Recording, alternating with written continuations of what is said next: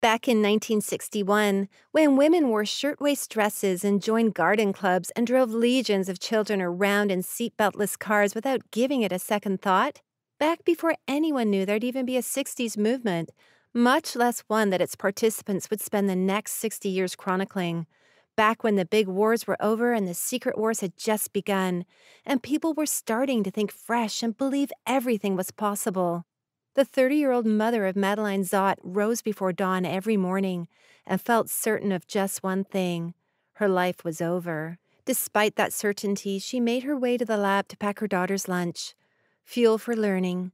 Elizabeth Zott wrote on a small slip of paper before tucking it into her daughter's lunchbox.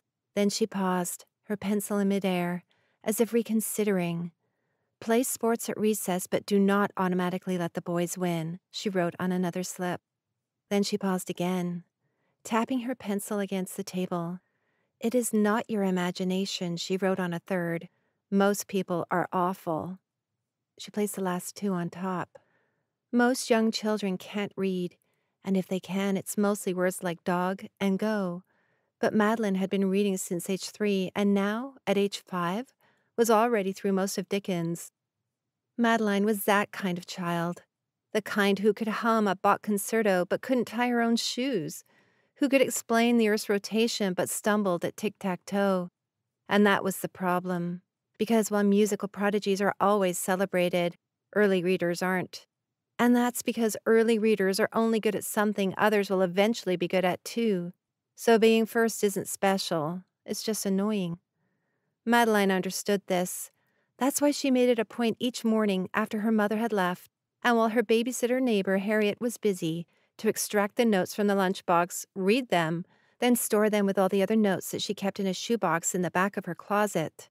Once at school, she pretended to be like all the other kids, basically illiterate.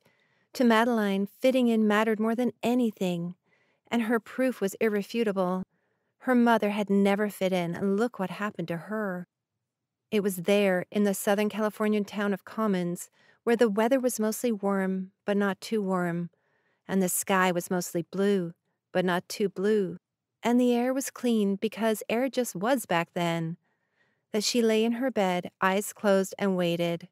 Soon she knew there'd be a gentle kiss on her forehead, a careful tuck of covers about her shoulders, a murmuring of seize the day in her ear.